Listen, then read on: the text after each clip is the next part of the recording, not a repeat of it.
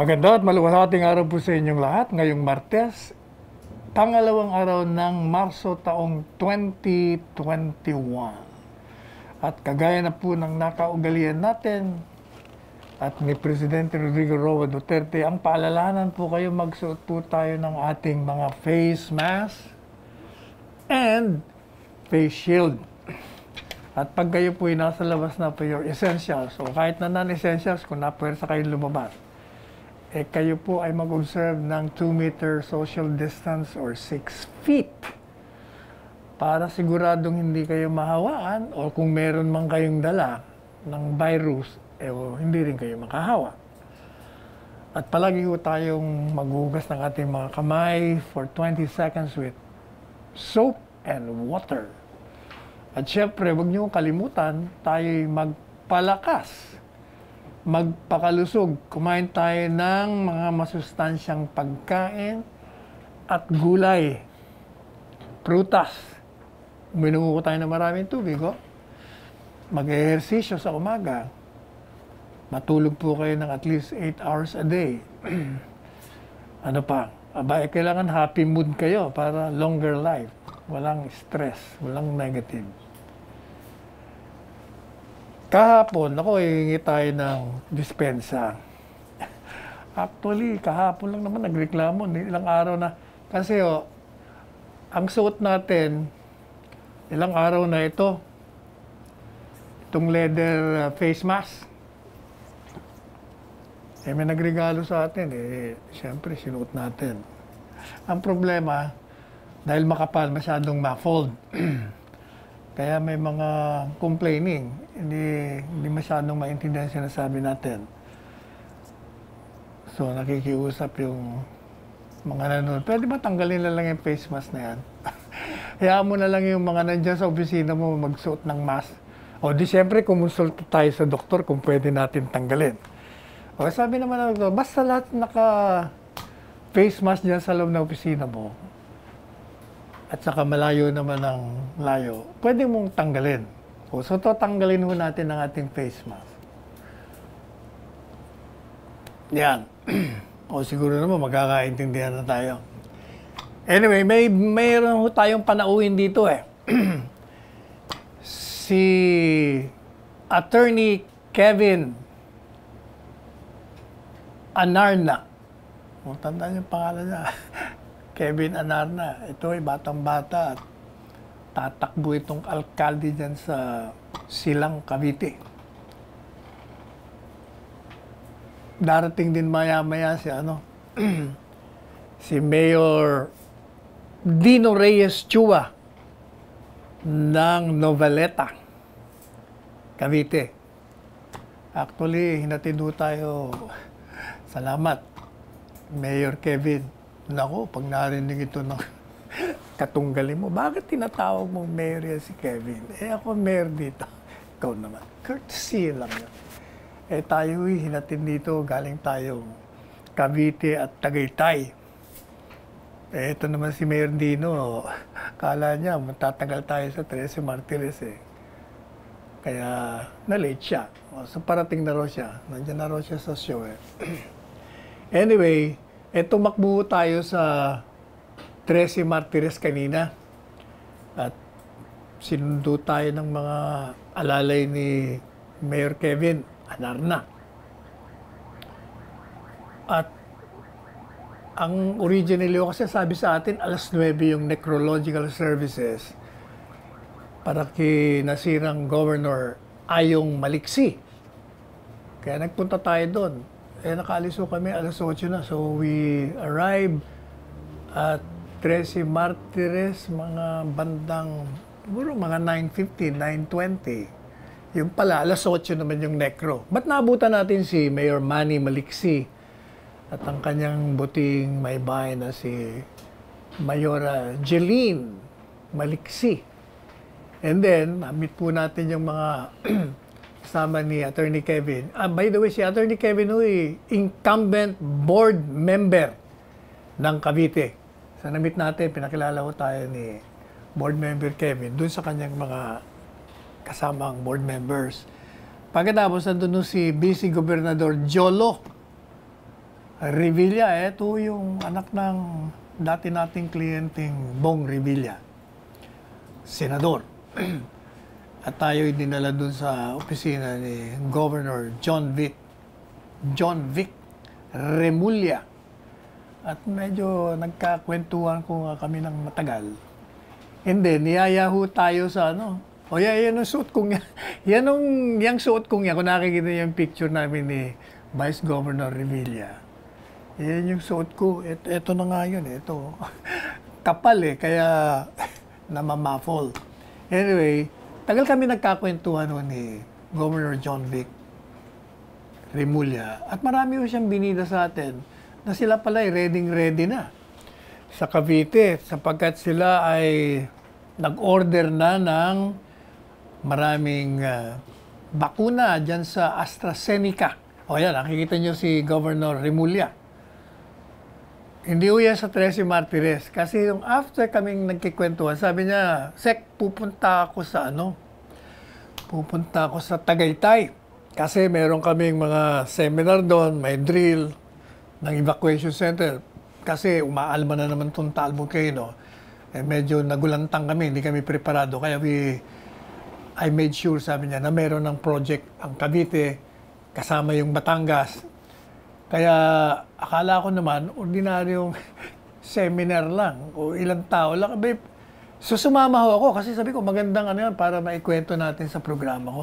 Abi, ang daming tao.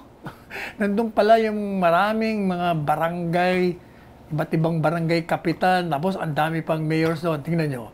Yung mga nasa likod doon namin, eh, puro mga mayors yan ng Cavite at saka Batangas. Ano pa yung susunod?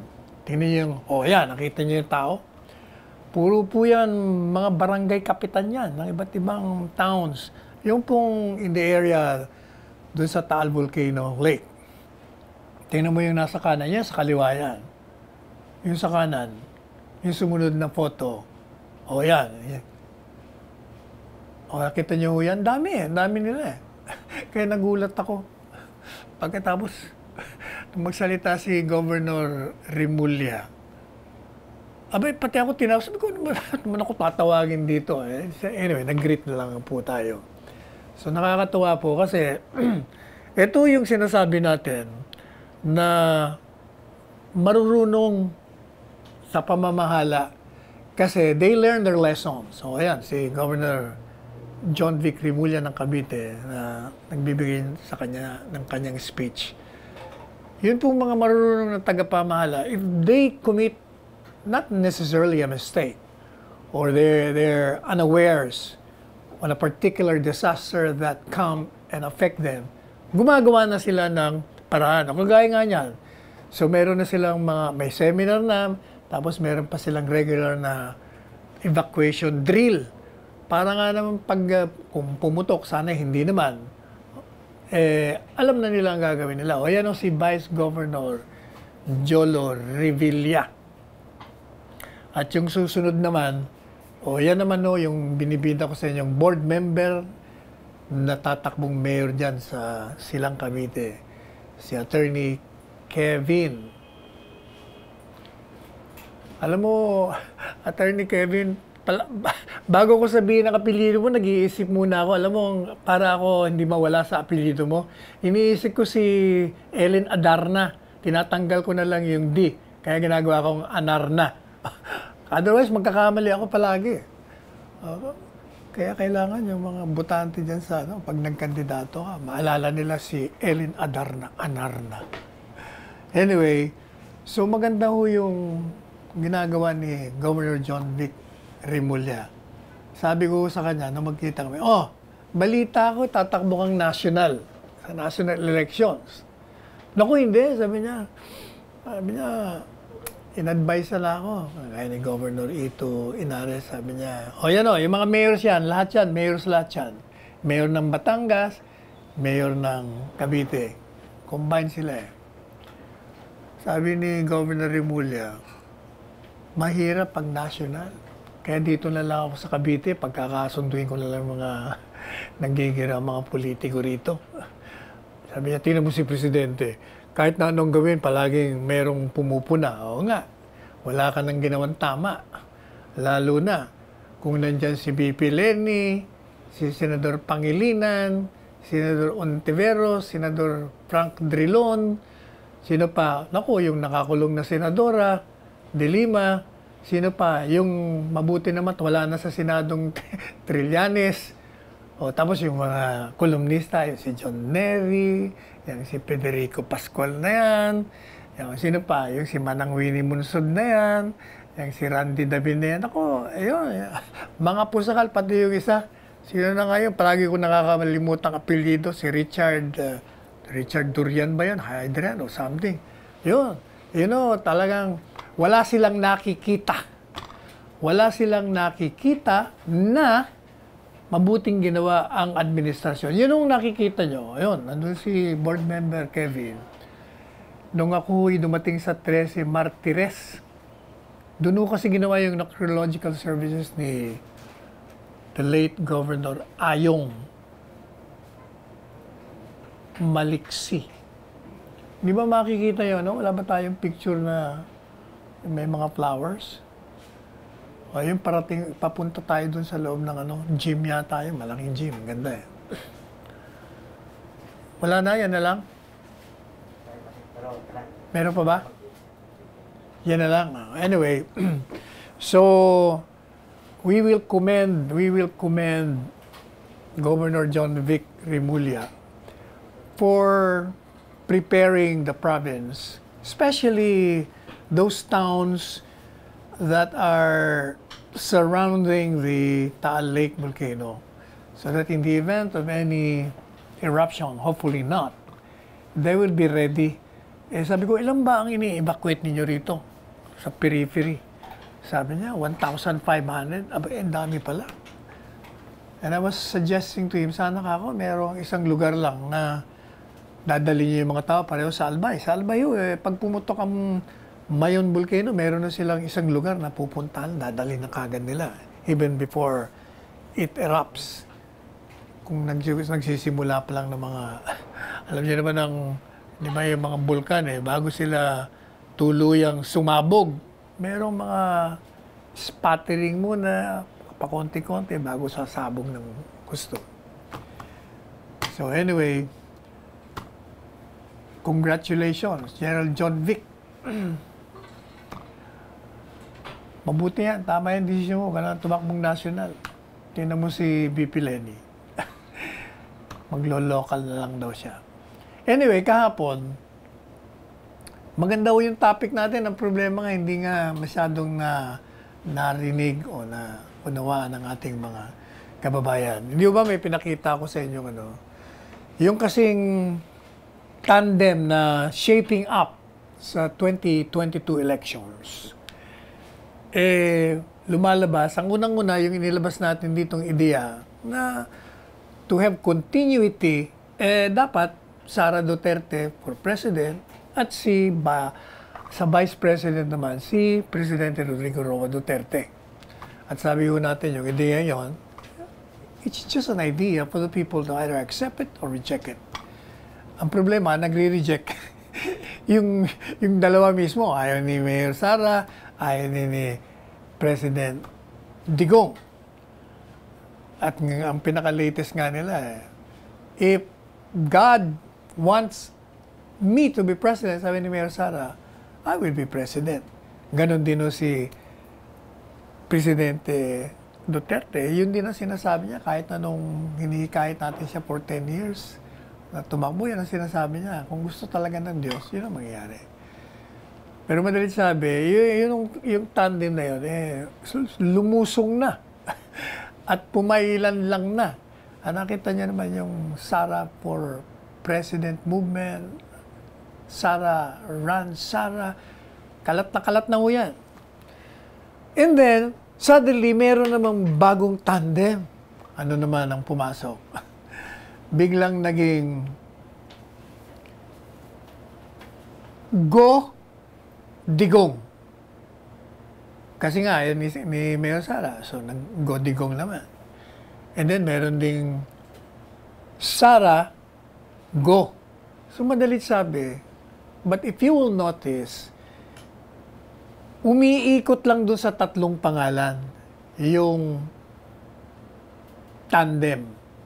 Palaging nandun yung Mayor Sara, nandun ang Senator Bongo, nandun ang Presidente Rodrigo Roa Duterte. At sabi natin, the very reason why I had advocated for the Duterte-Duterte tandem is precisely because of our belief that there should be a continuity of the legacy of this President Duterte. Eh alam naman natin na talagang ipinakita niya, mawalang galang na sa ibang presidente. Meron din kayong mga kanya-kanyang mga achievements. But this president has really gone beyond the expectations. Talagang marami yung ginawa eh. Sa punto ng kriminalidad, ng drugs, ng response sa mga disaster, yung floods, typhoons, kung ano-ano pa yan pong rebellion. Ginawa niya rin ang paraan. Kita nyo, na kuha niyang i, ipasa yung barn. Hindi, hindi pumapasa yan sa nakalarang administrasyon. Eh. And then sa terorismo, meron din siyang ginawa. Itong response natin sa pandemic, despite the criticisms of those people I mentioned to you, eh talaga namang totohanan lang, malaki ang naibigay. That is precisely why this president has received, as described by one of the BBC commentators, a stratospherical, astronomical rating of 91%. That only other heads of state can dream of or about. Wala, sa pangarap lang nila makukuha yung 91%. Trust and approval rating. O sa, so sabi natin, kailangan talaga may continuity. At sinabi natin, ang reason kung bakit gusto ko po si Mayor Sara, sinabi natin, unang-una, abogado yan. He knows, she knows the limits of the presidency. Alam niya ang batas. Yun ang kanyang training. Number two, matapang, nanununtok ng sheriff. Ibig sabihin, wala siyang sinisino-sino. Basta mali ang papatupad mo ng batas, eh talagang hindi kanya palalampasin. Number three, meron ho siyang political will. Gaya ng sinabi ko sa inyo, di ba? Eh, di ba merong gustong magpa-approve ng kontrata kay Mayor Sara? Pagdating sa kanya, nung pinadala ni Presidente at kumausap kay Mayor, kay Vice Mayor Duterte at that time, sabi niya, oh, Papa, ikaw na lang mag-mayor. Sinuli niya yung kontrata. And then, the second time, sabi ko sa inyo, gustong mag-landing ni Presidente dun sa Davao dahil birthday ni First Lady Hanilet Avancenia at bibisitahin niya yung anak niya, pati na nga yung tatlo niya pang anak, kay Mrs. Zimmerman. Eh, hindi rin siya pinapayagan nung Mayor Sara, sabi niya, tinawagan niya kasi, lalanding ako niyan. hindi, hindi ka maglalanding dito, Papa, lockdown ko rito. Yun, yun ang mga reasons na yon. Pagkatapos, meron pa siyang malasakit. Malasakit sa maliliit, sa mga dukha tinatawag. Hindi ba ganyan ang presidente? Matapang at may malasakit. At the same time, itong mayorang ito ng Davao City, jari ng kanyang ama, both of them enforces the law against themselves. Walang self-entitlement eh. Kaya kita nyo, nung they violated traffic rules, o eh, nagpa-ticket sila, pauli sila. Kahit na yung mga incumbent mayor sila at that time, di ba? O yan. O ngayon, nagkaroon naman ngayon yung sinasabi nating go. Kasi kung ayaw nga naman itong isa, eh sabi ni Presidente, ayan ang kandidato ko, si Senador Bongo. That's my man. O edi siyempre, eh hindi po ba, nung ito yung unang tumakbo, minimenos ito eh. Pero gaya ng paliwanag ko sa inyo, eh lumalabas siya ngayon ng pinakamasipag na senador, pinaka-visible, maraming mga panukalang batas na naging batas na. At the same time, hindi niya rin maiwan na tumulong kay Presidente Duterte sa executive. At palagi namin kasama sa cabinet meeting. Eh bukas, may cabinet meeting na naman kami. O sigurado, nandun na naman yon. At palagi siyang kasama sa lahat ng biyahe ni Presidente. Wherever the President goes, he's there. Hindi po ba? Hindi lamang yan. Ah, Gaya ng sinabi ko sa inyo, look at the newspapers every day. As in, every day ho yan. Ha? Nandun ang mukha niya.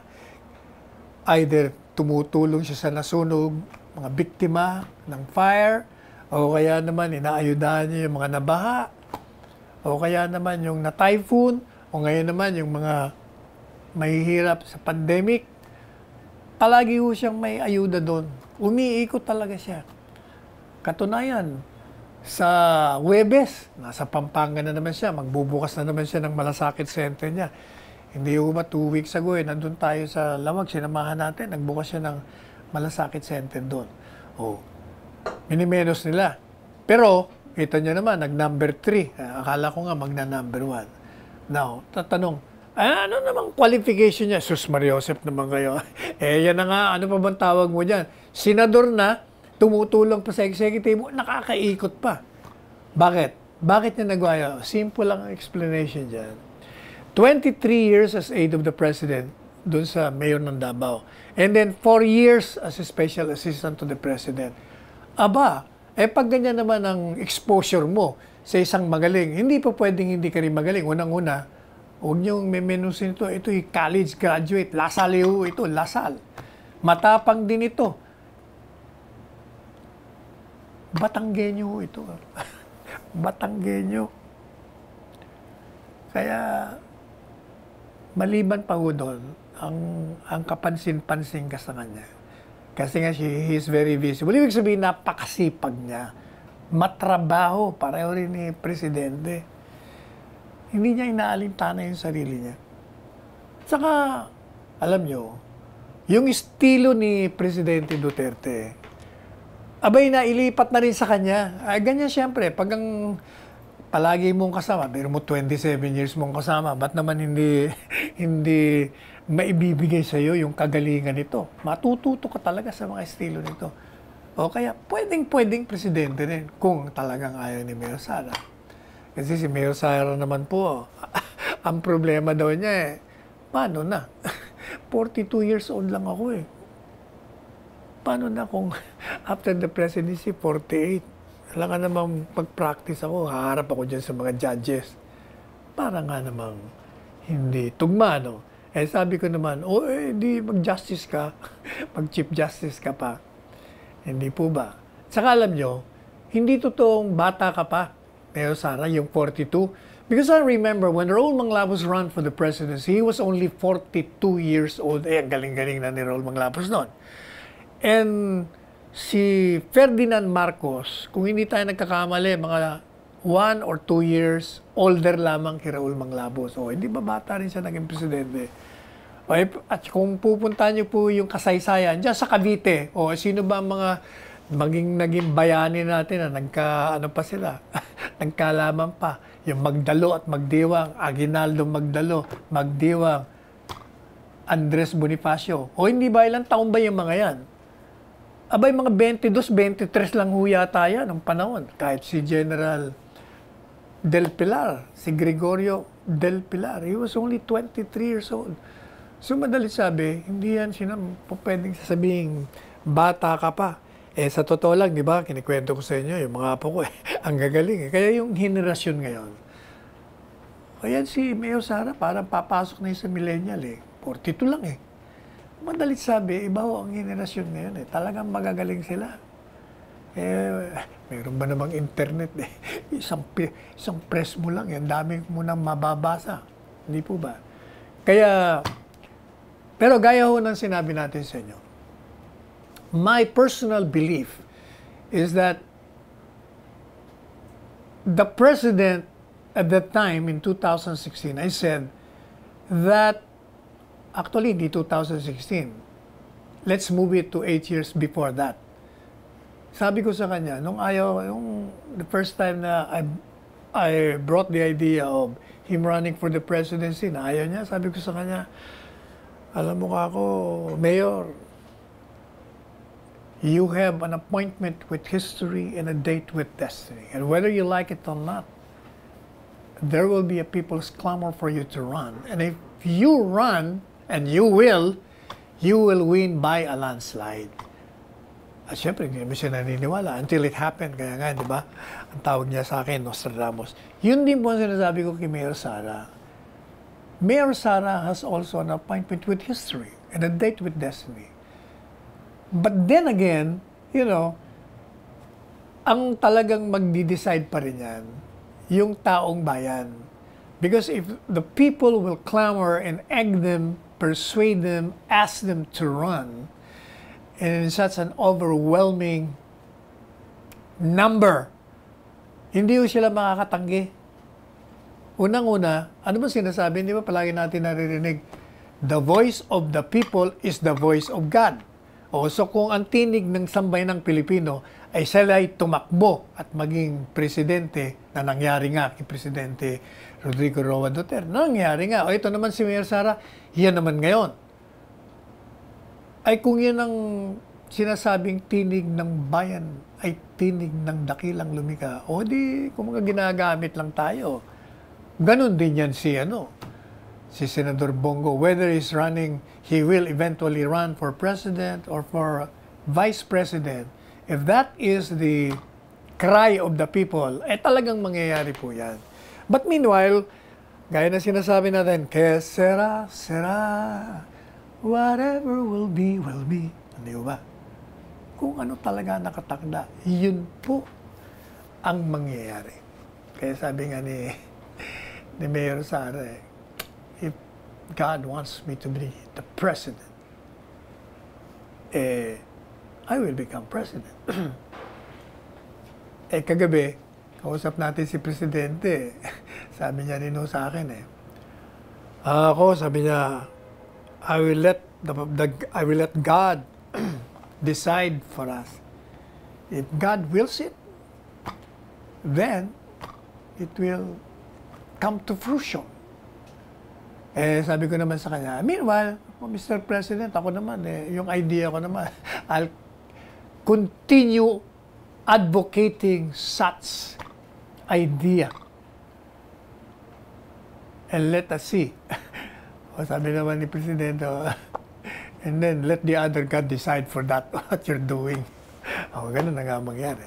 So, tingnan po natin Tingnan natin ang panahon. Meanwhile, alam nyo, kahapon, hindi ba, nagsimula na yung roll out. At nung hindi pa dumarating na, oh, isang katutak na ano, reklamo ng oposisyon, ng mga kritiko, nasa na yung bakunang yan. Panay kantsaw. At saka, ayaw nila na talaga nang galing sa China. Gusto nila yung galing sa abroad, Amerika. Ayan, dumating na ho. Libre pa. Hindi yung libre. yung binibili natin, eh, medyo nagka-snafu sa delivery, kaya na-delay na naman. But you know, sabi nga ho natin eh, mabuti nga may delay eh. Dahil kung walang delay, problema tayo. Dumating yan two weeks ago, maraming ayaw magpabakuna. O at least ngayon, marami na akong nakukumbinsi. O gaya ni, sabi ni Governor John Vic kanina, tinanong ko siya eh, nag-survey ka na ba? Dito sa Cavite kung ilan lang gustong magpabakuna. O sabi niya, ang latest eh, 30% ang ayaw. Oh, biro mo, 30% na lang ako. Dati 70%, sa Maynila 70% pa eh. O kasi madalit sabi, the space between then na expect din natin dumating And until yesterday na dumating, may gap na binabanata na nasaan na yan mga pangako nyo, napako na, wala nang dumating kasi nga may corruption, kasi yakitiyak kung ano-ano mga bla bla bla sinasabi. Eh kasi yung space na yon yun, ginawa natin doon, lahat po na nakakaintindi ng sitwasyon, abay sila'y nag-educate, nangumbinsi. Ayan, ang dami, ba? Sila Dr. Saldana, sila Dr. Sino pa? Cabral, sila Dr. Duque, sila Secretary Galvez, la, madalit sabi, lahat po yan, nanawagan, at kahapon nga, nakita nyo naman, yung mga eksperto natin, doktor, abay nagpabakuna sila dyan sa PGH. Ang nangunguna pa, yung medical director, si Director Dr. Gerardo Ligaspi. Siya ang unang-una na nabakunahan ng corona vaccine. Anong brand? O, oh, edi yung Sinovac. And after him, sumunod naman na bakunahan po ng Sinovac, ayun namang FDA Director General natin, si Dr. Eric Domingo. Tapos, ito nang si, Ed, si Dr. Edsel Salvanya, na siya namang taga-UP, National Institute of Health Institute of Molecular Biology and Biotechnology Director. O pati nga ho yung ating kaibigan at anak ng ating kumpadring si Comelec Chairman Ben Abalos, na si Benhur Abalos Jr., aba, nagpabakuna rin po sa PGH. Sino pa? O, di mismong vaccine sa Secretary Carlito Galvez Jr. Yung ding testing sa na si Vince Dison. Siya rin ay nagpabakuna dyan naman sa Tala Hospital sa Caloocan. Madali sabi, kung ano man pagdududa nyo pa na baka medyo masama, adverse, kasi nga Di ba, ginagamit nila ngayon, eh, teka muna, bakit naman sabi ng FDA hindi pwede yung mga senior citizens edad 60 and above? At yung mga bata, yung below 18 hindi pwede. Ang problema naman kasi dito sa mga kritiko natin, hindi kayo nakikinig sa paliwanag eh. Kasi nga, yung trials, limitado doon okay na okay dun sa edad na yon hanggang 59. Eh kasi pag 60 and above, alam nyo mo, mga sakitin eh, may mga underlying illness eh. Eh wala pang trial doon. Pero eventually siguro, siguro ongoing ang trial nila kung okay ba o hindi. Pareho din po dun sa mga health workers. Na yung health workers daw na hindi naman nasa front line, pero health workers, yun pwede yun, ng Sinovac. Pero yung mga nasa unahan, yung trial daw nila, medyo parang nabasa ko kanina ang efficacy rate lang parang 50 something. Samantalang yung mga hindi, aba, mataas. Nasa 69 to 70 plus. So, siyempre, uunahin ho natin yung kung ano yung lumalabas sa trials ng Sinovac. Yun naman ang papakinggan dahil sinuri naman ng FDA yun. Pero eto na. yung itong ano, itong mga, ewan ko ba itong makukulit natin, ah, sino-sino ba itong mga nangungontra na naman? itong Alliance of Health Workers, nagpo-protesta sila. Bakit ba? Kailangan daw isang malaya at ligtas at effective na COVID-19 vaccine sa labas ng ospital ang dapat na ibigay. Hindi raw yung Madalit sabi, pinagdududahan nila. Hindi raw katangkan, katanggap-tanggap sa health workers dahil wala nga siyang record for sa trials. Kayo talaga. Wala pang record dun sa parting yon yung 60 and above. At saka dun sa mga health workers na nandun mismo sa front line. But they're ongoing. Bakit ba hindi kayo makaintindol talaga naman kayo? Buti pa itong ano eh, itong St. Luke's Medical Center. Diyan po sa Quezon City at Bonifacio. Kasi dati, dati ang preferred nila eh Pfizer. Pero tuwan-tuwa nagulat si Secretary Charlie Galvez. Nakahapon, tinawagan siya ni Doc- Dr. Arturo de la Peña, yung pong CEO, presidente Sapagkat tinext daw siya, kailangan daw nila ng 5,000 healthcare workers and employees na mabakuna ng Sinovac. Ay sabi niya, nabigla kami. Kasi dati-dati ang gusto nila Pfizer. Oh, so, mabuti naman po, eh, reaping fruits na yung ating mga panawagan, panawagan ng iba na magtiwala kayo sa mga bakuna. Kaya ano pang klaseng bakuna yan? Alam niyo po, sabi nga eh, walang 100%. But then, common sense will tell us, sentido komon, na kahit ano pang percentage yan, effective pa rin yan. Kasi kung walang bakuna, o di wala. Zero yung ating panlaban.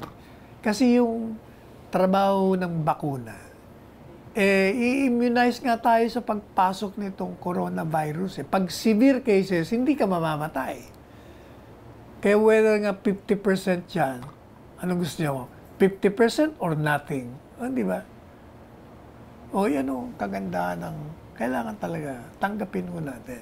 O kita nyo, pati dyan sa ano, sa DND, Department of National Defense, aba, nagpabakuna po sila kahapon dalawang military hospital sa Quezon City, dyan sa Veterans Memorial Medical Center, sa Viluna Medical Center, nagpabakuna.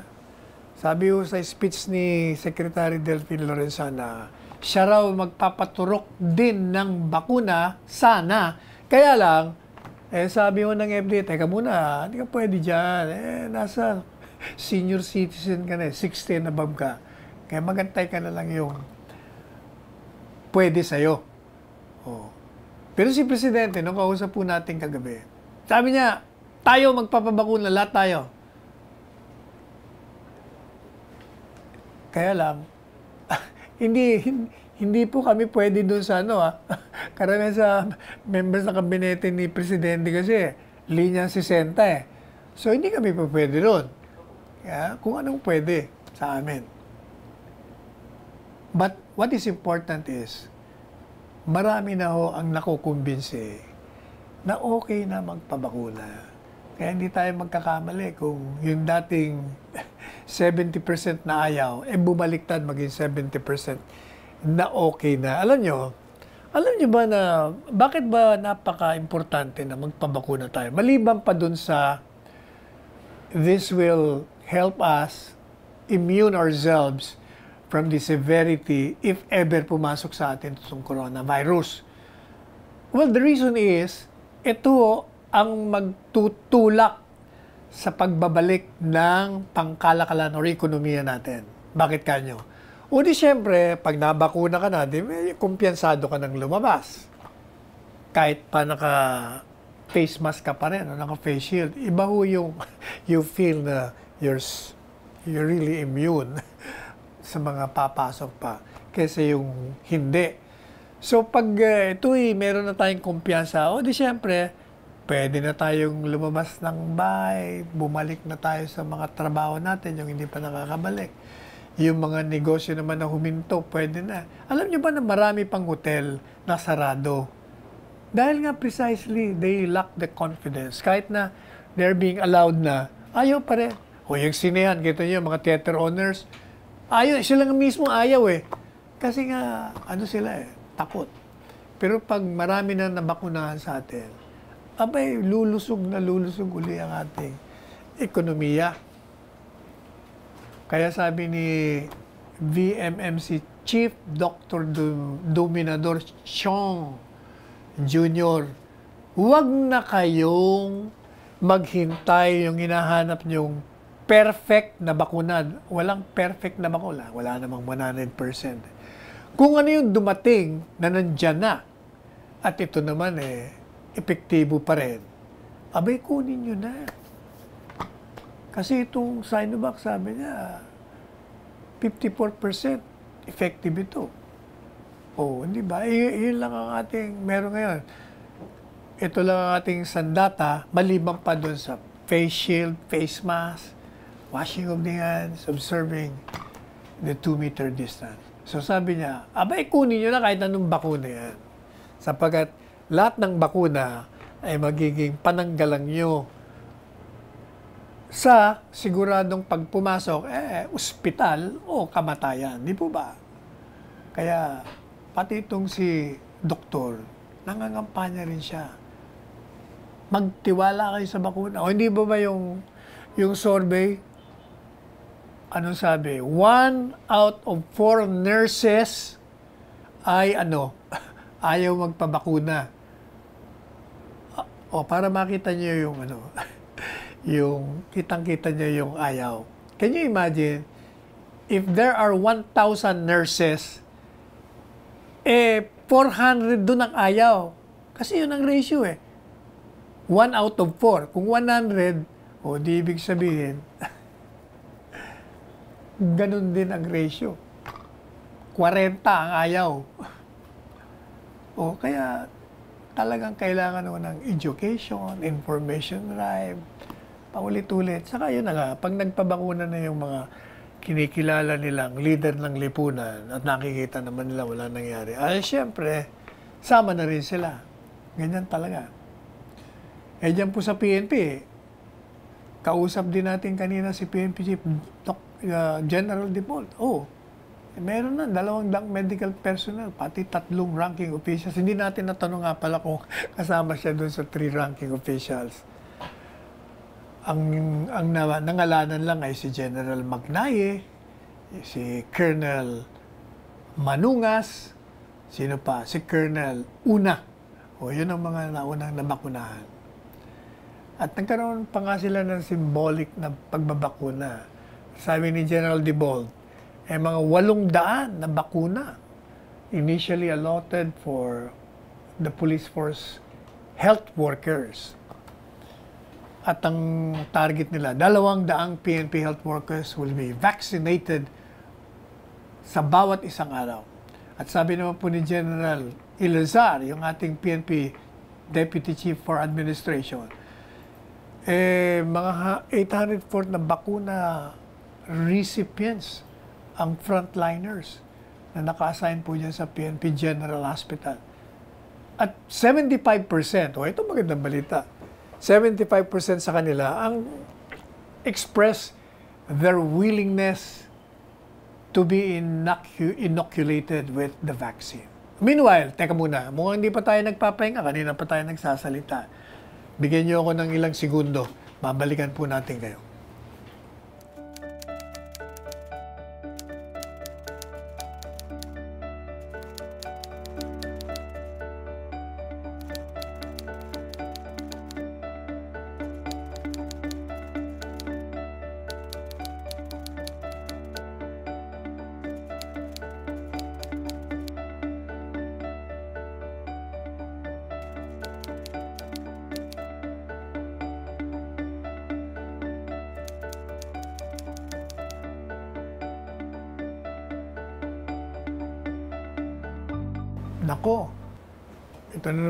Lenny, meron ka na namang meron ka na namang mga payag na ayan, nairita na naman sa si Presidente Rodrigo Roa Duterte.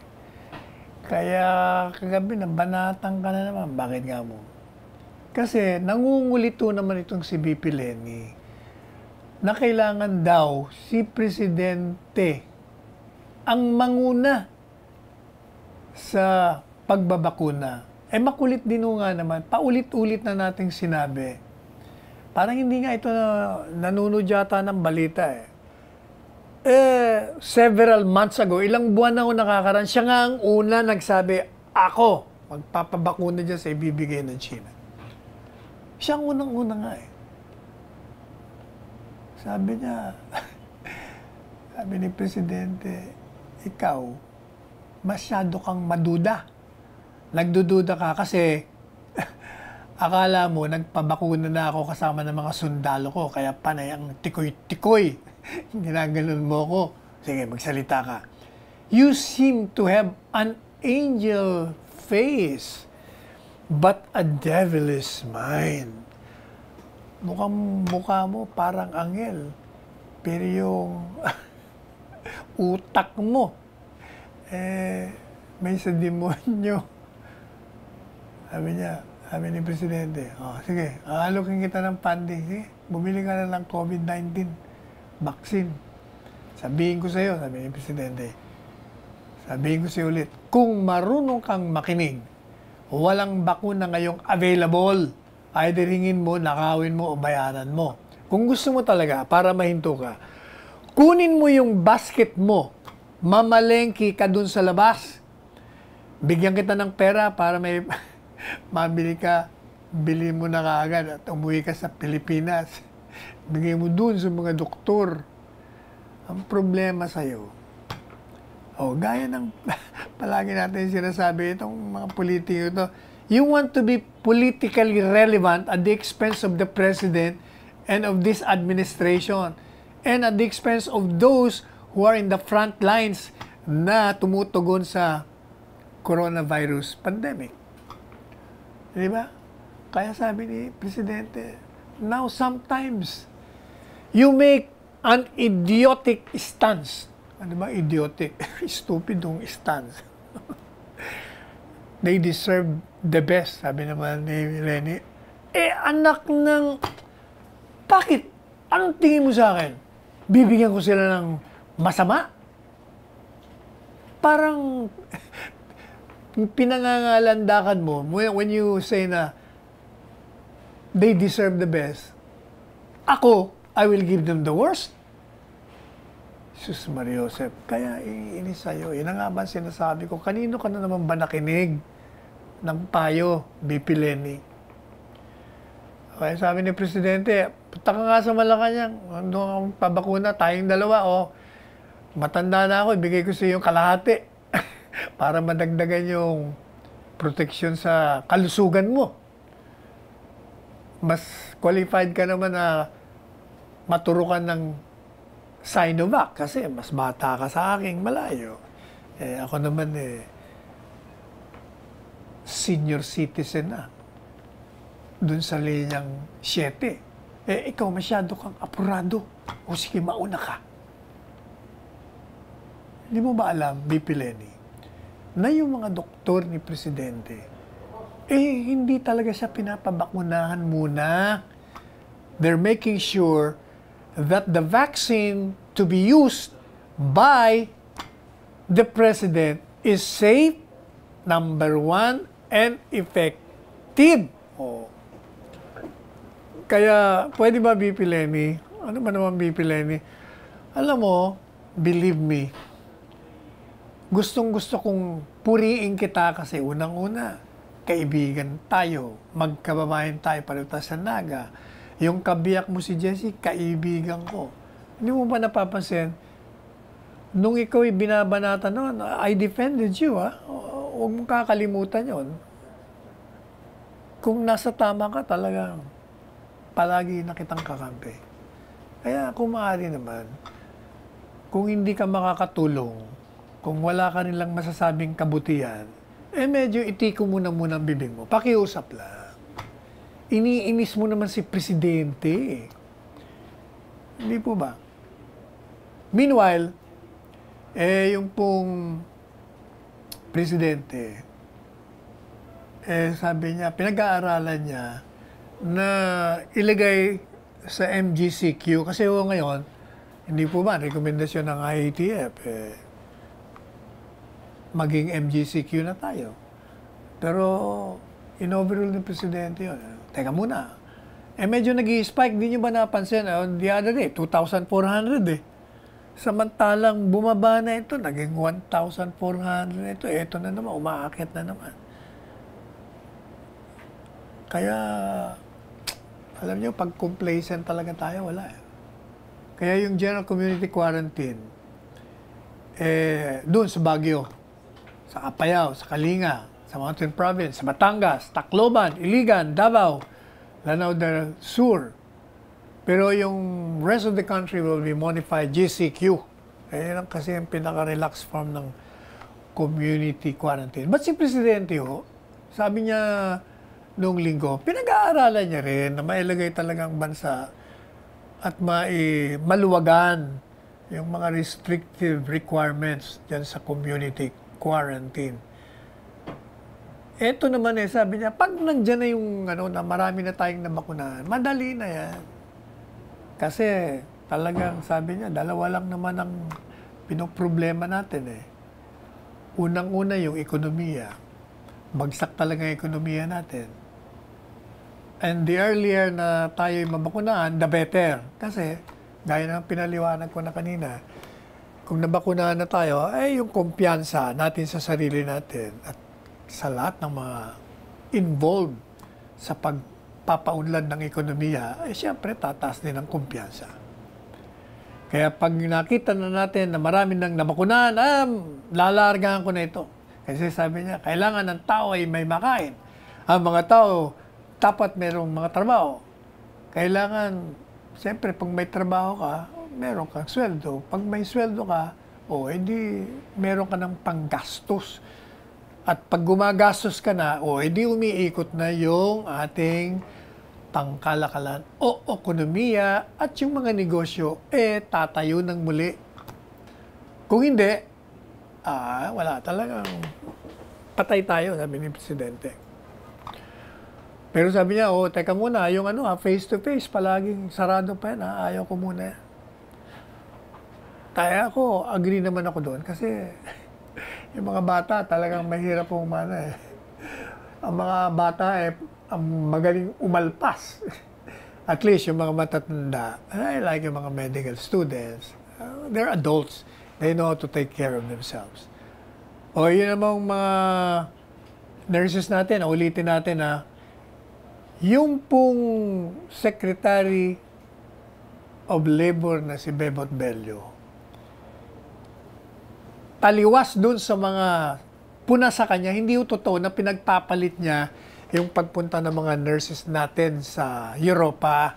Ang katotohanan, sabi niya, yung UK nakiusap sa atin na luwagan natin yung cap kasi meron tayo lang na number of nurses na pwedeng umalis papunta sa Europe.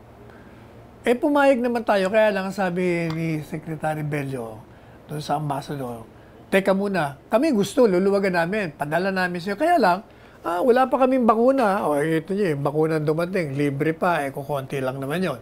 Kailangan, kung meron naman kayong bakuna, eh, dami niyong bakuna, padala niyo kami, tuturukan muna namin bago namin yung padala. Yun ho yun. Kaya yun naman sinasabi ni BP Lenny, mali ka na naman BP Lenny, yan nga ang problema eh. Sasabi mo, oh, ayusin mo yung working conditions, not trade. Nobody's trading the nurses for vaccines. Secretary Bello is precisely doing something to preserve the health condition of the nurses. Yun yun. Oh. Talaga kayo. oh, finally, dumating na yung bisita natin, si Mayor Dino Chua. Na traffic siya. O anong oras na ba? Meron pa ba tayong oras? Mukhang wala na. Five minutes pa pala. Ano pa? Ano pa? Ah, eto. O ito. Tungkol ito sa na, na balita nyo yung barilan between PDEA and the police. Kung hindi po ba, nagkaroon sila ng tinatawag nila misencounter. misencounter because maling kalaban ay pareho pala sa law enforcement. Hindi po ba nagkaroon sila ng board of inquiry? Joint. Pero sabi ni Presidente, teka muna, NBI na lang kasi may kanya-kanya kayong version. Siyempre, susulong nyo yung version nyo. Kaya mo na yung NBI dyan ang malaman natin. Eh, nakausap natin si General De Bolt kanina. Tinanong, ano ba talaga nangyari dyan? Eh, feeling niya raw, sa tingin niya talaga, nagkulang sa coordination yung mga informant sa parte ng PDEA. Okay yun? Pero ako, whether it's PDEA or PNP, eh talagang pag nagkabarilan yung magkakampi, ibig sabihin talagang walang coordination. yun ang katotohanan dyan. Kaya yan natin ang NBA muna nang malaman na natin kung ano ba, sino ba ang nagkulang dyan para magawa natin ng paraan kung ano ang dapat na protocol. Eh talaga naman dapat to talagang pag meron kayong gagawing by bus operation, kailangan talaga alam ninyo, papaalam nyo, alam mo, PDEA, magagawa ng by bus, paalam nyo sa pulis. Ganon din ang pulis, paalam nyo sa PDEA. Kasi for all you know, baka yung mga asset nyo pala yun. O mga ahente nyo. O, pag hindi kayo nagkaroon ng coordination, talaga magkakabari lang kayo. Kaya ito namang kongreso, eh, siguro, wag na muna kayo mag-imbestiga. Although, you have the right. Wala, wala namang sinasabing, ano, eh. but alam nyo, yun namang mga dyan sa Senado, Senadora Risa Ontiveros, hat na hat siya.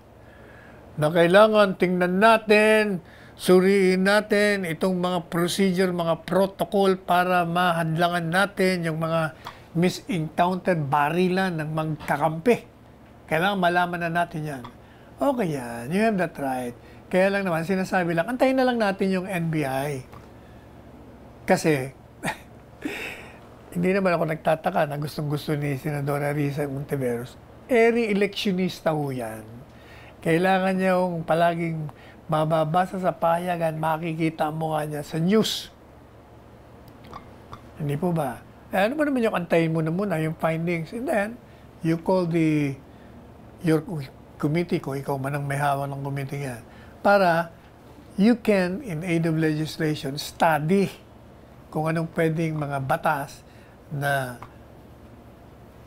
erase nyo, ipasa nyo. Pareho nung sinasabi ni Senate President Vicente Soto na kailangan mayroon ng departamento na ipo nakapokus lang dyan sa mga drugs na yan. Para siguradong nandun yung monitoring, nandun yung sila magpapatupad ng batas sa droga, hindi po ba? O kaya tama naman siya. Anyway, ano pa ba?